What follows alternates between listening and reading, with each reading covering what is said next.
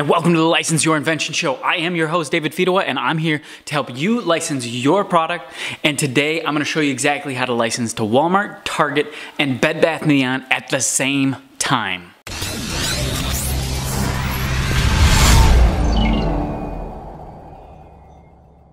Let us jump right into it. How to license to Walmart, Target, Bed Bath & Beyond, or if you're in the hardware category and you have a tool product, Home Depot, Lowe's, Menards, all the big boxes, um, even True Value. So it's, it's not that you're actually licensing directly to these retailers.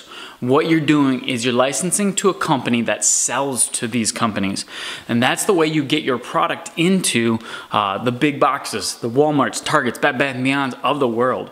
And so that's one of the best ways to license because licensing is all about distribution. If you know and understand how distribution chains work, then you're able to leverage that knowledge to get a better potential licensee and then have them sell more of your product because more product sales equals more royalties.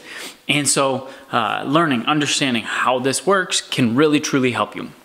And to give you uh, a little snippet of how to look at it or try to try to decipher what companies are great for licensing. Essentially, you can break down companies into three layers: Home Depots, Lowe's, Menards, or if you're uh, in a different category, Walmart, Target, Bed Bath & Beyond. Those are the ones that have physical stores or even online retail. So that's your top layer.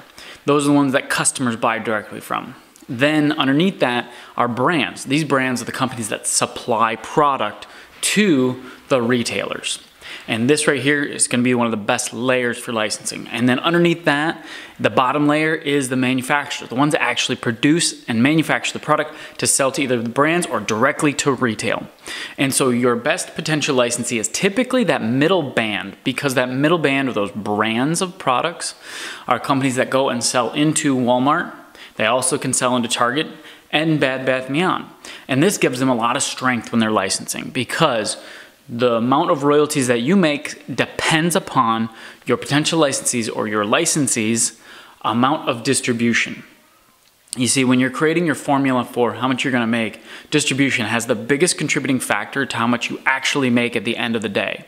And so when you're finding those companies in the middle band that have multiple distribution points, those are the ones that have the best, um, or those are the ones that I truly look for to license to because they're gonna be the ones that uh, get my product out in the biggest way. So if you're looking to license your product, find that middle band, find that uh, group of uh, brands that sell into uh, Walmart, Target, Bed Bath & Beyond. The way you find them is you go to the store, go to the section. Let's say you're selling or you've made an innovation on a hammer. And so you go to uh, Home Depot, you go to the hammer section.